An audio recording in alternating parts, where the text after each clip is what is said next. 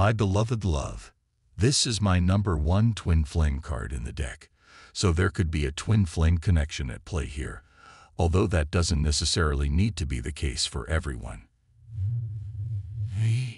With the seeker reversed, it may be that some truth is going to be coming to light here, particularly if this is an external connection that you are experiencing.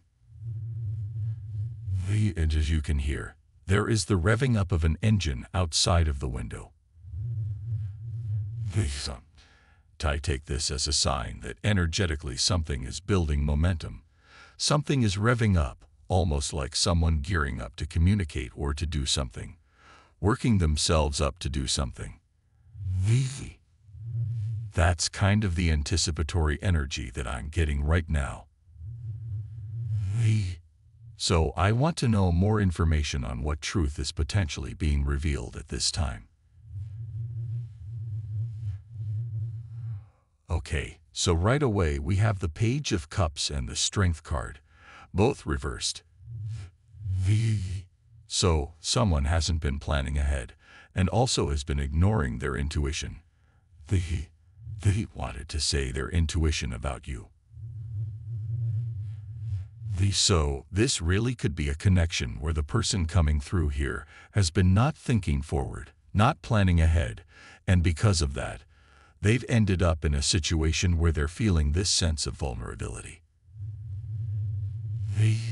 There's kind of a raw emotional energy around this particular person, like they're lacking self-confidence, trying to gear themselves up to do something here, feeling as though they haven't been forward-thinking.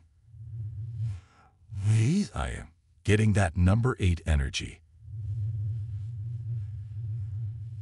It almost feels like this person kind of feeling like when they try to walk away, they end up right back where they started. V. There's a sort of circular energy here that finally leads to a realization that they have to take some kind of action. Yeah, with the Ten of Cups reversed, this person is feeling disconnected from some type of a dream. This could be the dream of your connection together. They're feeling a lack of stability because what they've truly desired on the heart space hasn't manifested. The, the, but the reason it hasn't manifested is because they've allowed their mind to dominate their feelings. The, with the Queen of Swords upright, they have not listened to their sense of intuition here, but they've been trying. It's almost like trying to take action through the mind. It's almost like someone denying what they're really feeling because they're letting their mind get in the way here.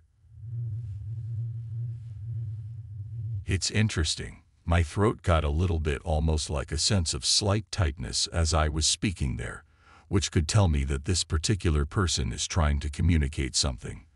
But it's almost like they can't fully get the words out.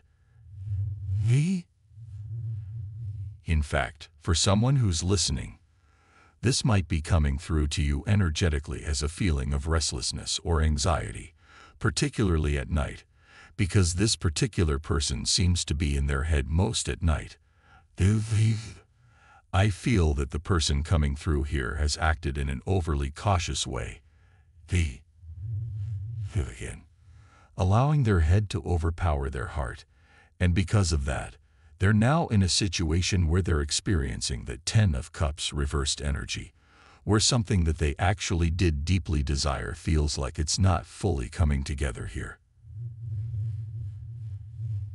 From Divine Masculine. Take yes, if you believe.